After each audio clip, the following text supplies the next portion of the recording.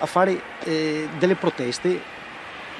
creative, di, di, di, di, rabbia e questa rabbia si è un po' eh, è diventata in modo creativo un poco dalla fiaccola, dall'isola, dove abbiamo denunciato il Ministero, abbiamo denunciato l'assenza della politica qui a Venezia e loro a Porto Torres. Eh, e, e, ogni protesta aveva un significato ben preciso di quel momento. Quando tu gli blocchi i cancelli, fai queste cose qua, fai diciamo, una, una protesta che è scontata. Quando invece vai sopra il campanile o vai sopra una torcia a 10 gradi sotto zero,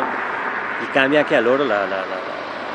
diciamo, la percezione no, de, de, di protesta, gli, gli, scompini i piani che, che, si sono, che, si sono, programmati, non, più, non, diventa più una cosa normale. Sai benissimo che quando dividi le persone impera qualcun altro, non, imperia, non, non siamo più noi a, a capo della situazione.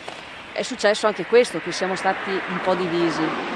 e noi abbiamo pensato perché non, tra virgolette, riconquistiamo il nostro territorio, nel senso che Porto Marghera è sempre stato visto come il demonio nero che faceva solo male ha creato 30-40 mila posti di lavoro questo posto qui, ha creato delle professionalità che sono andate anche all'estero